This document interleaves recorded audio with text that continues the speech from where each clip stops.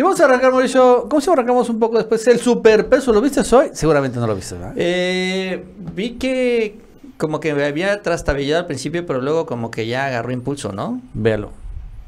17.28 pesos. Sí, como que. No, está. Es que tú no viniste el viernes, Nacho, pero sí. ¿Estaba? ¿A cuánto? Estaba ahí, ahí. Dice- Por eso la línea está así. Así, 17.29 subió, 17.28 pesos por dólar el superpeso.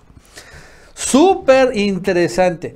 Fíjate que hoy, este... Había subido un poquitito a 7.30 y tantos. Lo vi en la mañana, pero luego como que se, se compuso, se arregló y quedó otra vez ahí. Sí, fíjate que este siempre los los los los, no, los que defienden la devaluación del peso, vamos a llamarle así, comentan que el, hecho de que el superpeso se encuentre muy eh, apreciado tiene muy poco que ver, ¿no? Por la por eh, el manejo macroeconómico de López Obrador y bueno, por finalmente decisiones. Y lo que tiene que ver es por la alta tasa de interés, ¿no? Que finalmente por esta razón, este, por el hecho de que ahorita los CETES estén pagando 11% más o menos y la FED estén pagando 3%, eh, este diferencial es lo que genera que haya un superpeso, porque bueno, los inversionistas estarían más interesados en comprar CETES que en comprar bonos del Tesoro de Estados Unidos, y esto genera ¿no? que aumentan muchos pesos. Ok, sí. Sin embargo, esto no va a ser, no es tan así, porque si así fuera, pues Argentina, que tiene una vaga mucha más alta tasa de interés, eh, no tendría el problema del peso argentino, estas monstruosas devaluaciones. Lo curioso es que aquí salió, para desmentir esta tesis de los neoliberales, el subgobernador del Banco de México, Jonathan Heath, hace unos días, en dicen que eso es falso, que la realidad porque existe un superpeso es porque ahorita en México hay una monstruosa entrada de dólares devenidos por varias cosas. Bueno, lo de siempre, ¿no? Las remesas, el turismo y el nearshoring, o sea, la inversión extranjera directa. Estos fenómenos, esos tres fenómenos, es lo que ha provocado que lleguen muchos dólares a nuestro país y por lo tanto se aprecia el superpeso, que poco o nada tiene que ver la tasa de interés. Aún así dice que probablemente allá por noviembre, o tal vez un poquito antes, podría empezar a bajar la tasa de interés, dice Jonathan Heath, ¿no? O sea, este mismo año, ante el hecho de que ya estaría muy controlada la inflación. Entonces, pero es interesante, ¿no? Que salga este subgobernador del Banco de México a, pues, darle un calladón de hocico a los expertos que bueno, todavía siguen insistiendo, porque siguen todavía diciendo, es que el superpeso genera menos remesas, también menos monetización para los youtubers, por cierto, ¿no? Pero bueno, de todos modos, esto, eh, eh, o sea, nunca realmente se preocupaban los neoliberales por las remesas ni por los migrantes. Ahora sí, oh Dios mío, pobres migrantes, o las familias de migrantes, más bien dicho, ¿no? Que está, ya compran con menos dólares este, mercancías, lo cual, pues sí es cierto. Pero bueno, la verdad es que la gran, la, mayoría de los mexicanos no tienen familia que vive en el extranjero o no viven de las remesas. Sí, un montón de gente, sí, claro, millones, pero no los 130 millones de mexicanos. Pues es un tema que eh, al cual nos tenemos que ir adaptando, porque pues ahora sí ya es una realidad en donde el peso se va revaluando y no devaluando. Siempre estábamos acostumbrados a ir en el sentido contrario, en donde el peso va perdiendo valor, en donde tenemos que andar viendo pues cómo estiramos más el presupuesto de la casa, ¿no? Los gastos. Eh, y bueno, ahora la diferencia es que, como bien lo dices tú, Nacho, pues se reciben, ya cuando se cambian los dólares, se reciben menos pesos. La ventaja es que con esto también el dinero te rinde un poco más. ¿Por qué? Porque la inflación va bajando. Cuando tenemos una moneda más fuerte, todos los productos que importamos, que son muchos, sobre todo los alimentos, también nos salen más baratos. Esto significa que la inflación se va controlando y también ya ahorita, como lo señalabas tú, como ya estamos por ahí del 5.60 y tantos, es el nivel de inflación, ya estamos acercándonos al escenario ideal del Banco de México. Entonces, ya estas altas, elevadas, altas tasas de interés que tenemos, pues van a empezar a bajar de manera gradual. Eh, yo creo que va a ser por ahí de no sé si llega hasta final de año, pero pues yo creo que ya va a ser en un par de meses más, porque sí, está muy, muy elevada la tasa de, de interés independientemente de la cuestión cambiaria y esto afecta pues en general los créditos de vivienda, los créditos al consumo y demás. Entonces eh, yo creo que sí ya, ya va siendo momento de que baje la tasa de interés para ir impulsando justamente el mercado interno, el consumo, para que esta máquina, que es la que está avanzando, eh, que es la economía, pues siga avanzando todavía a una mayor velocidad. Entonces, eh, pues sí, hay pues la gente que, que recibe remesas, pues ya no, no, recibe tantos pesos, pero la ventaja es esta, que su dinero va a rendir más, puede rendir más, porque de eso se trata cuando la economía se fortalece, que con el mismo dinero puedes comprar más cosas. Eh, pero son, son conceptos que no estamos acostumbrados a ver porque tenemos ya varias generaciones con devaluaciones permanentes. Y ahora que las cosas cambian, pues sí, cuesta trabajo entender y hasta acostumbrarnos a esto. Pero pues yo creo que es una buena costumbre, ¿no? Ver que nuestra moneda se fortalece, que la economía avanza y que el dinero pues nos puede rendir, nos puede rendir bien, nos puede rendir más de lo que rendía antes. Bueno, pues vamos a otro tema, antes que quieran hablar, vamos a hablar, claro, de Morena, ¿no? El día de ayer arrancó con todo a tambor batiente el proceso interno de Morena. Así que bueno, vamos rápidamente a hacer un recuento rápidamente de los términos generales, a ver. ¿Qué dice, no? Que bueno, la definición de Morena va a ser por una encuesta, solo una, no dos. El Consejo Nacional invitará a las cuatro personas que cuentan con el perfil para participar, ¿no? A Marcelo Ebrard, a Dan Augusto, a este Ricardo Monreal y Claudia Sheinbaum. No habrá más aspirantes. Ahí se queda, lo cual se me hace excelente noticia. Por parte de los aliados, o sea, el Verde y el PT, serán invitados dos personas más, que obviamente es Noroña y Velasco. En la encuesta participarán un máximo de seis personas, así que está súper bien. Estarán a cargo del proceso el Consejo Nacional, ¿no? que dirige Durazo, las comisiones de elecciones y encuestas de Morena, y esta última auxiliada por empresas demoscópicas, o sea, otras encuestadoras. Ahora, sigue aquí lo siguiente, ¿no? Más datos, rápidamente. El registro empieza desde hoy lunes al viernes 16 de junio. Cada uno de los invitados, cumpliendo los requisitos y firmando los compromisos establecidos, manifestará su participación ante la comisión de elecciones y deben acompañar sus dos propuestas de empresas encuestadoras, porque cada uno de estos aspirantes va a poder proponer dos encuestas. Recorrido del 19 de junio, o sea, en una semana, al 27 de agosto. Bueno, van a, más o menos van a ser 80 días. Que está muy bien, ¿eh? Los aspirantes llevan a cabo, llevarán a cabo recorridos de trabajo para el país para informar sobre los logros de la 4T. Perfecto. Levantamiento de la encuesta el 28 de agosto, se acabando el recorrido, al 3 de septiembre. Cuatro días, no, son como cinco días, seis días de encuestas. Ahora, procesamiento de la información del 4 al 6 de septiembre y bueno, el resultado el 6 de septiembre. Se va a dar a conocer quién va a ser el candidato presidencial y honestamente casi casi presidente de la República o presidenta, claro, de la República. Otras cosas más, ¿no? Este dice, bueno, esto es lo mismo, ¿no? Eh, bueno, deberán dejar su cargo o puesto de representación el mismo día en que representen su registro, pues ahorita todos están este, eh, eh, renunciando, ahorita vamos a ver las renuncias que se dieron ya el día de hoy.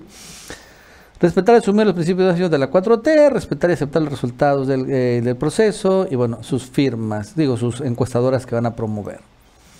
Ahora, dice, los recorridos, bueno, ahí está, ¿no?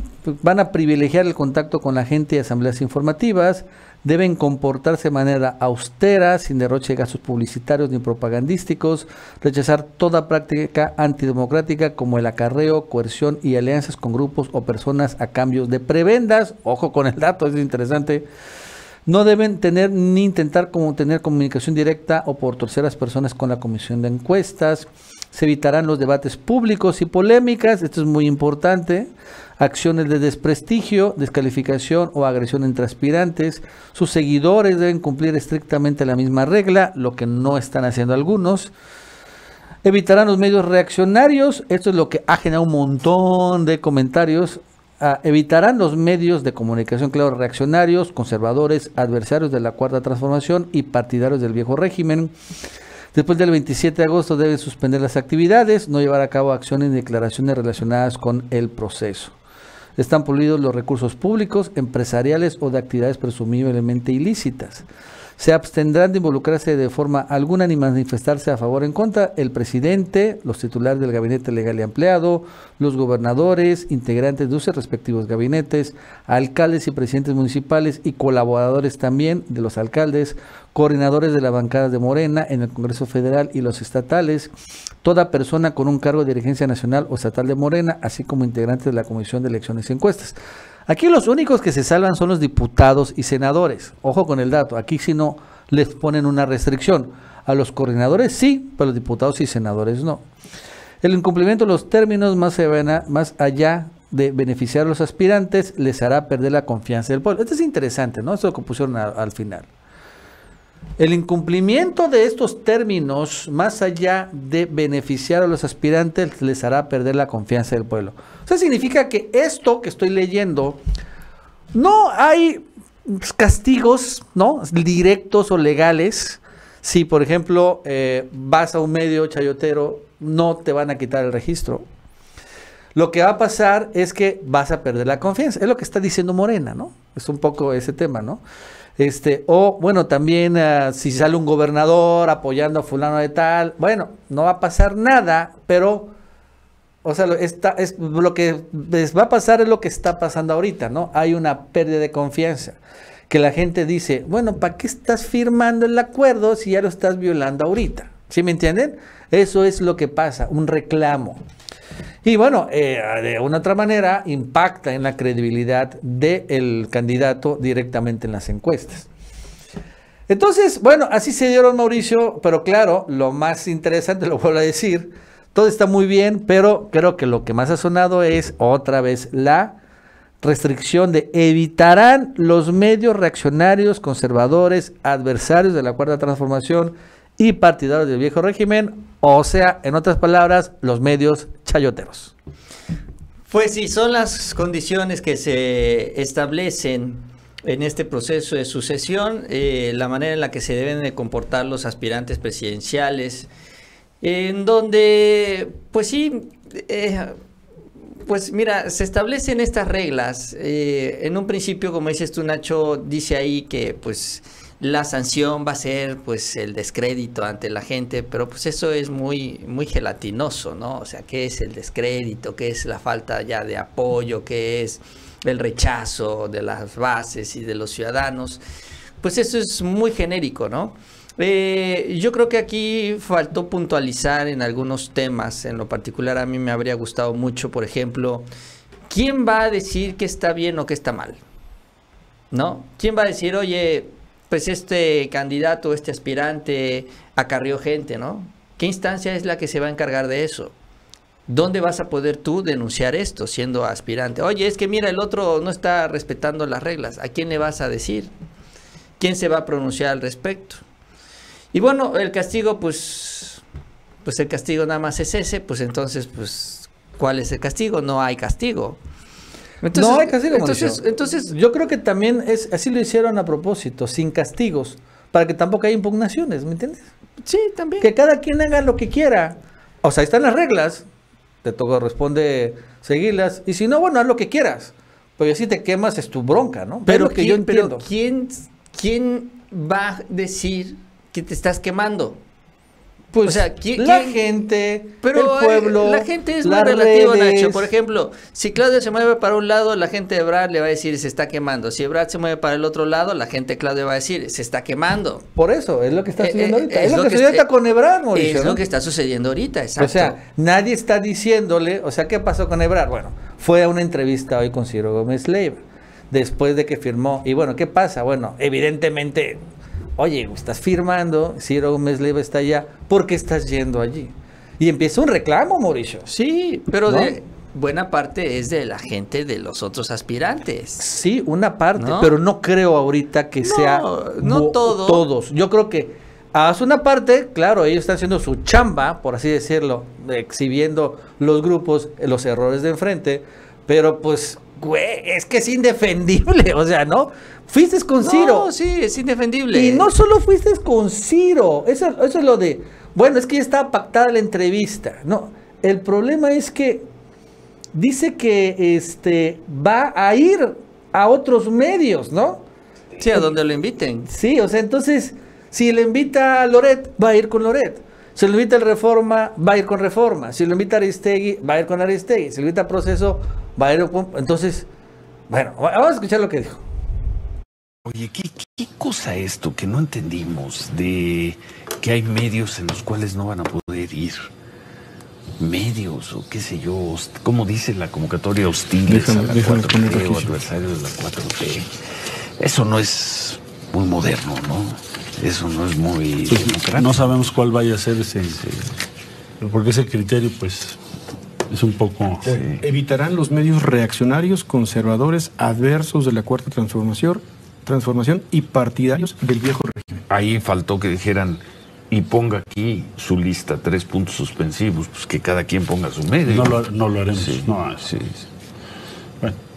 eh, yo, yo pienso que cuando menos tu servidor, pues yo voy a ir a todos los medios. Voy a defender las ideas que tengo. Y no esperaría yo, y creo que sería muy polémico, que el partido saque una lista, pues como crees. Yo no lo vería. Ya dijo, la secretaria del partido ya dijo dos nombres, ¿eh? La secretaria del partido, ¿eh? Citlali. Citlali Hernández ya habló de reforma y habló de latinos. Ah, de reforma. Imagínate que le das una entrevista a reforma y te va a decir, rompiste las reglas. O latinos. Rompiste las reglas. Bueno, yo no he estado- Estás descalificado, ganó Claudia. No he estado en Latinos, yo ciertamente nunca he ido a una entrevista ahí. Pero en fin, desde mi punto de vista, pues yo estaré asistiendo a los medios de comunicación y te agradezco mucho la invitación de Entonces, si no está de acuerdo, ¿para qué firma? O si no sabía que estaba firmando, pues, pues ¿por qué no lees lo que estás firmando? Esa es, creo, Mauricio, la crítica genuina a Ebrard. Sí, ese es el tema. También Ebrard saca a relucir otro asunto, que es el asunto Ebrard, pues no Ebrard, sino todo este escenario. Pues cuáles medios sí y cuáles medios no. ¿No? Dijo... ¿Y, y qué- y quién va a establecer esta lista de medios? Eh, y hoy, por ejemplo, Mario hizo una gira de medios. Y entiendo yo que esos medios sí están avalados. Ahora, uno de esos medios que visitó Mario Delgado es Imagen. O con los que habló, pues. Entonces, Ciro transmite en Imagen. Y ahí es donde las cosas se ponen todavía más raras. Porque entonces la pregunta es, ¿vas a poder ir con los medios, pero no a los programas de los chayoteros que tienen ahí en esos medios? ¿Sí? ¿No? ¿Qué? ¿Qué? qué? Mira. es, es- es que son, son dudas o cuestiones que yo creo que se debieron atender desde un principio. Citlali, esto yo creo que, Mauricio, esta es una orden de López Obrador. Que, que yo creo, yo, yo lo tengo muy sí, claro. Sí, sí, Este es Todo esto una se platicó el lunes. Restricción de López Obrador. O sea, que no tienen que ir con los medios, chayoteros. ¿Cuáles? Pues los chayoteros, ¿no? O sea, ya creo que todo el mundo tiene claro cuáles son, por ejemplo, Loret, claro, el primero. Ciro también, los que menciona también el, propio presidente López Sí, Obrador a cada rato. Dóriga. Dóriga, Aristegui, este proceso, ¿no? Hay, claro, medios más chayoteros que otros. Este, por ejemplo, eh, si vas con el Heraldo, bueno, no hay problema si te vas al Heraldo. Pero también, por ejemplo, el Universal lo ha mencionado. el Sí, pero bueno, el, pero el Universal tiene a pues un montón de periodistas, ¿no? Si vas con Mario Maldonado, bueno. Eh, Es que, es que Pero si vas que- con este este Héctor de Mauleón, mm, Por eso, entonces, no solo es el medio, sino es el chayotero. yo creo que más es el chayotero, eh, ¿no? eh, es que te digo, Si vas con Leo Zuckerman, mm, pero si te vas, claro, con Borosón, no mames, ¿no? ¿Estás de acuerdo? sí, sí, claro, claro. Hay grados, Hay, pues. hay, hay niveles. Pero ¿quién define ese nivel? Porque ahorita puede decir Marcelo, ah, porque yo no sabía que Ciro estaba eh, en la lista de chayoteros. Y tiene toda la razón. ¿Quién, quién, quién lo puede decir? Eh, o sea, digo, es, es criticable, pero él puede fingir demencia en su justificación. En fin, sí falta este tipo de, de- de precisiones en, este y en otros temas, porque el acarreo, Nacho, ahí está Mario Delgado subiendo la gente a, a- a- a la, a la van, ¿no? Ya dice la oposición, es que eso es acarreo. Bueno, y si hace eso un aspirante, entonces si llevas a 5 no es acarreo, si llevas a 10, 100, 1000, ¿cuánto es el acarreo? O sea, yo sé que son, son tal vez demasiadas precisiones y en la política es muy difícil de hacerlo, porque pues bueno, estamos hablando de las relaciones humanas, pero yo creo que dejaron muy al aire varias cosas. Pero bueno, la carrera yo lo vería como, bueno, si vas a subir 10 pesos a una van, bueno, no- es otra cosa que lleves a un montón de personas en de comunidades en camiones, ¿no? Por así decirlo, ¿no? Pero bueno, la verdad es que este, esto de los medios, pues sí ha dado mucho de qué hablar. Ya Domo Citlali eh, dio un poco más de luces sobre esto el día de ayer. Dijo dos de entrada, Reforma y Latinos. Y seamos honestos, estos sí son medios hiperchayoteros.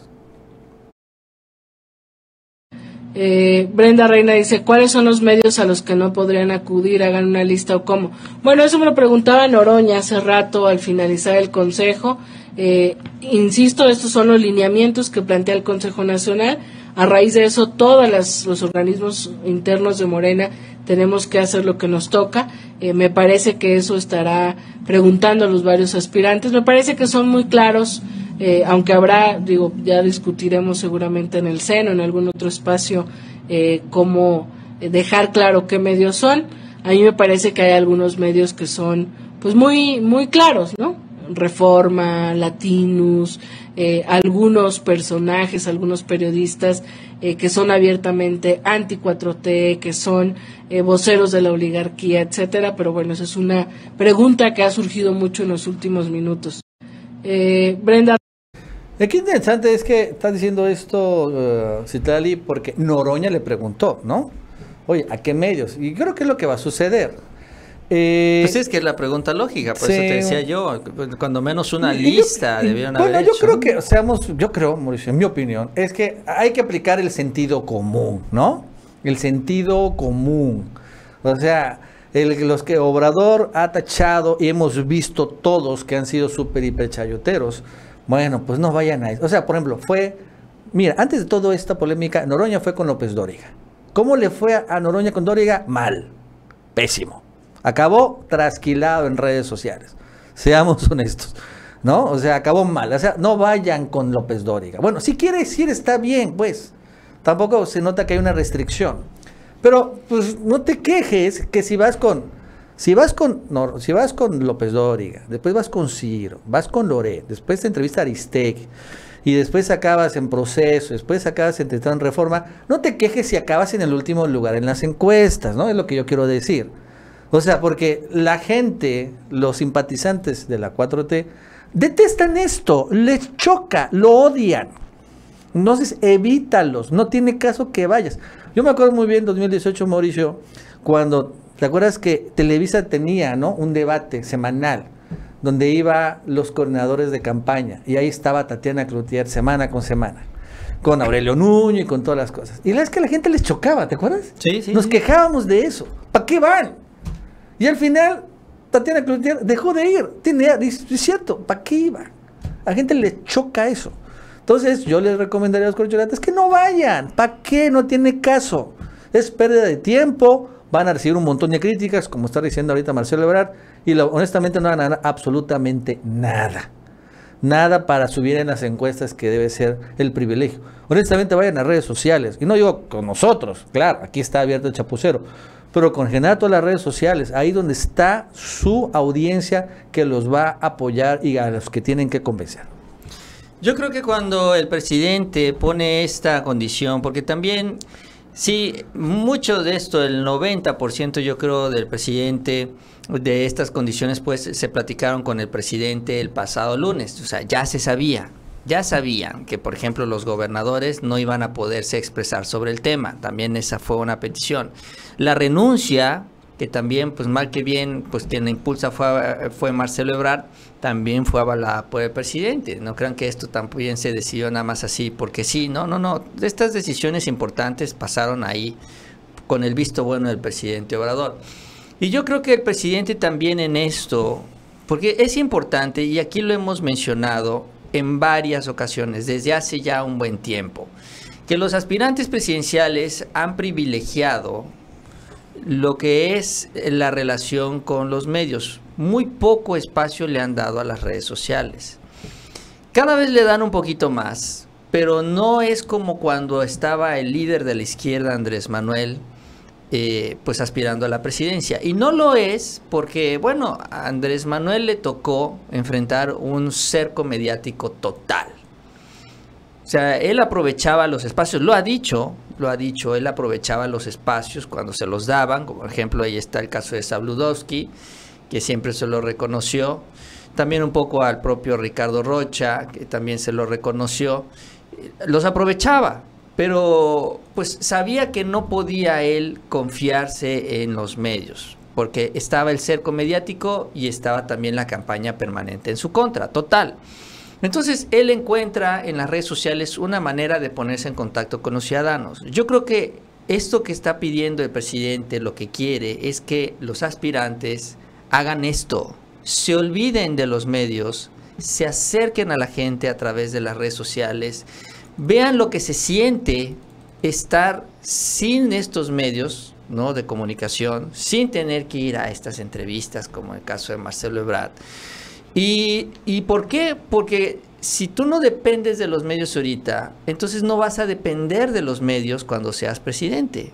El que llegue, ¿no? Si tú dependes ahorita para comunicar de lo que entre, te entrevistas con Ciro, te entrevistas con Loret, qué sé yo, si dependes de ellos para informar, ya valiste. Ya valiste porque ellos te van a chantajear hasta el infinito, que fue lo que sucedió en los gobiernos anteriores. Yo creo que el presidente pues quiere como que decirles, a ver, a ver, señores, aprendan a trabajar sin los medios de comunicación. Vamos a poner esta restricción y pues bueno, ya vimos quiénes no los van a cumplir. Cuando vemos una primera instancia, Marcelo Ebrard no se va a cerrar a las entrevistas. Vamos a ver qué es lo que deciden los demás aspirantes. la verdad es que la tentación es mucha por el tiempo que es, pues sí, son dos meses, pero pues ya tampoco se van a mover tanto las encuestas. Ya lo que puedes hacer en dos meses este, pues sí, eh, es, complicado y más sin los medios. Entonces, eh, insisto, vamos a ver cómo reaccionan a esta prueba los aspirantes. Bueno, mira, ahorita está en vivo Arturo Pavón con Marcelo Ebrard. Este, ahorita está en la, bueno, en la librería por Rúa, precisamente. Y bueno, vamos a ver. Y de no quedar, ¿te conformarías con un cargo de consolación? Gracias. hiciste cinco preguntas. Bueno, está bien, hay que preguntar, para eso son estas reuniones. Eh, yo te diría que nuestro destino es la victoria.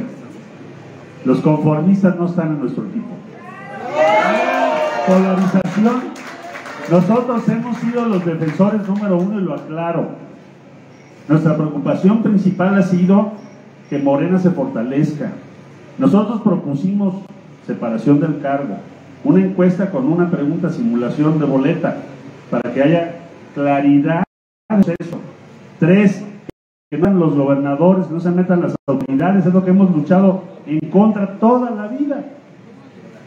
Todo esto está, quedó ahí en la convocatoria, pues claro que estamos muy contentos, pero no por nosotros nada más, sino por el movimiento al que formamos parte. Dice el presidente, la paz es el fruto de la justicia, la unidad también es el fruto de la justicia y de la transparencia y del respeto a las redes. Entonces nosotros vamos a participar en ese ánimo, en esa resolución y por supuesto que nuestro plan es vencer, es ganar. No tenemos otra cosa en el escenario. ¿Sobre qué base? ¿Sobre qué base pensamos que vamos a ganar sin duda? Primero pues nuestros resultados. Porque todos los que vamos a estar en esta contienda hemos gobernado, hemos representado o somos servidores públicos. Bueno, ahorita está Ebrard en vivo. Pueden también voy a estar utilizando ya el otro canal secundario que tengo, el Chapucero en vivo, para transmitir finalmente este tipo de cosas en vivo. Eh, también Claudio Sheinbaum va a estar el jueves, Adán Augusto creo que tengo que organizar el jueves, Monreal, Velasco, Noroña. Este canal lo vamos a dedicar a esto, ¿no? Ya Arturo Pavón se va a manejar mucho en este tipo de cosas. También voy a utilizar a Javier Pérez y seguramente a otros corresponsales para también darle equidad a todo esto. Ahí va a estar finalmente todos los mensajes que pueda yo transmitir, claro, en vivo Y evidentemente abrimos el canal a todos los aspirantes. Yo ya les voy a, ya les mandé mensaje a todos para que cuando quieran los entrevistemos por Zoom, en presencial. Pero es que también sea de una manera permanente esto. Igual con Mario Delgado, creo que mañana va a entrar. En fin, vamos a estar, ¿no? Finalmente muy atentos a todo este proceso. Y todos tienen la puerta abierta, los micrófonos, las cámaras abiertos y también sus personajes, etcétera, etcétera, digo, para que quede claro. Y no es nuestro interés realmente tomar partido por alguien, pero pues sí vamos a mencionar las cosas que sucedan, ¿no? Vamos como que a, finalmente a, intentar, pues de lo que ustedes también comenten, obviamente preguntarle cuando hablemos con las corcholatas. Claro, no sé si todos quieran jalar con nosotros, porque muchos dicen, es que ya te compró Claudia, ya te compró Adrián, ya te compró Ebrard. Bueno, no, eh, nos dicen centavero, en fin. Pero bueno, la verdad es que para nosotros es borrón y cuenta nueva y ojalá que sí puedan todos quieran jalar aquí. Y si no, bueno, pues ahí con López Dóriga los van a poder ojalá, ojalá que no. Pero bueno. Pues sí, es que eso es lo que, lo que a veces sucede, ¿no? A, quienes estamos apoyando el movimiento, eh, pues nos hacen esos señalamientos cuando pues a los medios como Dóriga y eso pues que están más embarrados pues a ellos sí es como que pues no hay problema no ah pues es que es López Dóriga entonces voy a su programa eh, yo lo decía, hay una comparación muy sencilla de hacer de lo inútil que es ir a esos espacios. Es que les decía yo, pues imagínense que un día nosotros nos ponemos a hablar de los panistas, entrevistamos aquí a los panistas, aquí por ejemplo supongan que venga Xochitl Galvez, y hablemos con ella y luego les empecemos a decir a ustedes, oye, miren, pues voten por ella para ser jefa de gobierno, ¿no? Pues ¿qué nos van a decir? Pues nos van a mentar la madre, ¿no? Pues sí, ¿quién va a decir? Pues obviamente yo nunca voy a votar por Xochitl. Yo creo que sería una respuesta unánime por parte de todos ustedes, porque nuestra audiencia, pues es una audiencia que apoya la cuarta transformación. Pues es lo mismo, ahora al revés. Quienes van con Loret, que es una audiencia anti 4T, pues llegan allá a hablar del proyecto de la 4T, que va a decir, pues estás idiota, no voy a apoyar a la 4T, aunque sea Ebrar, aunque sea Dan, aunque sea Claudio, aunque sea Nore, aunque sea el que sea, pues no quiero saber nada de Andrés Manuel y no quiero que continúe el gobierno. Entonces, pues ¿para qué vas? O sea, ¿para qué vas allá a, hacer esto que no te va a servir de nada. Pero pues así les dicen sus jefes de campaña, sus quienes te contratan también, que les trabajan los medios, es que puedes agarrar ahí audiencia, gente que no te conoce. Y con esto puedes llegar a gente también que te puede ayudar en la encuesta. Ah, ahora le vamos pues. Y entonces, pues se hacen estas entrevistas, ¿no? Pero bueno, insisto, yo creo que el mensaje del presidente está ahí porque es el ejemplo que él ha, puesto. O sea, él no lo platica, él no lo dice, él, él mostró, él, ya enseñó cuál es el camino para poder seguir con este proyecto de la cuarta transformación. Hay una foto que también es muy, muy trascendente que se viralizó. Nacho, ¿viste la foto de los paraguas? De los paraguas cuando ah. fue la reunión. ¿Cómo llega el pasado lunes el presidente cargando su paraguas? De ahí salió del Palacio Nacional el presidente cargando su paraguas. y aquí voy a reunirme con los gobernadores, con los aspirantes presidenciales, y iba cargando su paraguas.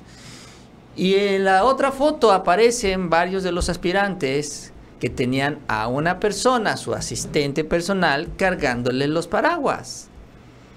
Entonces, eso aunque pareciera menor, finalmente también pues refleja mucho de lo que hay detrás. El presidente poniendo el ejemplo de cómo aún estando en el poder, en el lugar político más importante de este país, en la silla presidencial, él carga su paraguas. O sea, él se encarga de pues de, trabajar, él no necesita que el presupuesto lo ayude con un asistente que le esté cargando su paraguas, ¿no? O sea, eh, es, muy importante esto y yo creo que esto también, aprovechando estas condiciones que marca, se marcan en el proceso interno, yo creo que los aspirantes deberían de, de fijarse más, más en lo que hace el presidente, porque no es que no, no, es que se copie al presidente. No, yo no quiero que copien al presidente. Eh, cada quien es, es distinto y nunca lo van a poder copiar. Pero sí tomar esos valores que han impulsado a un liderazgo que creó un movimiento que es la 4T, que creó un partido que ahorita es el partido dominante y que tiene un gran respaldo ciudadano. Eso es lo que quiero que copien, no que copien al presidente sino que copien eso, ¿no? Siempre la humildad por delante, el esfuerzo, y no solo de dientes para afuera, sino pues en su actuar diario, como en algo tan elemental como cargar un paraguas.